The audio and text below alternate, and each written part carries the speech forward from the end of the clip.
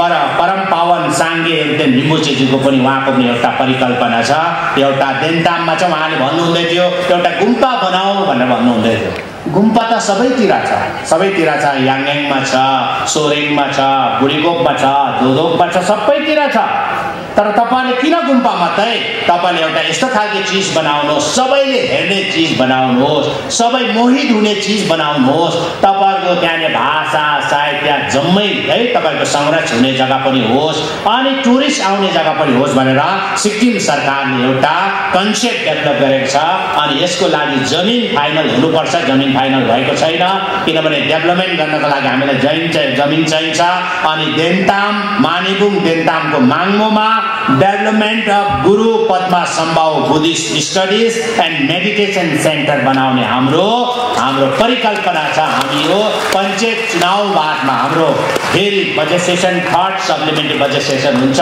त्यति बेला हामी धनराशि छुट यसको जम्मा लागत छ छप्पन करोड छ्यासी लाख रुपियाँको लागतमा हामी बनाइदिन्छौँ।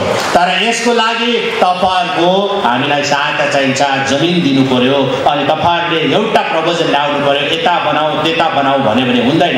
सरकार कन्फ्युज हुन्छ। र अब त मलाई विश्वास छ अब पहिला हामी हाम्रो सरकार आउनुभन्दा अघि है विभाजन भएका गुरुङ अब एउटै धागोमा उनिसकेका छ अनि एकदमै एउटा हुनिसकेको छ। तपाईँहरू एउटा भएको छ म यही चाहन्छु अनि मेरो सन्देश पनि त्यही हो। तपाईँहरू एकदमै एउटा भएर तपाईँले काम गर्नुहोस् अनि कसैको है मनमताउ हुन्छ फ्यामिलीभित्र परिवारभित्र हुन्छ।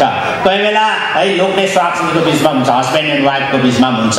त्यस्तो कुरालाई त तपाईँले फोरमभित्र ल्याउँछ बाहिर ल्याउनु हुँदैन। फोरममा ल्याउनु यो भएन यो ठिक भएन यो भएन। तर तपाईँहरूले फोरममा नगरेर बाहिर गऱ्यो भनेदेखि तपाईँहरूले राम्रो होइन।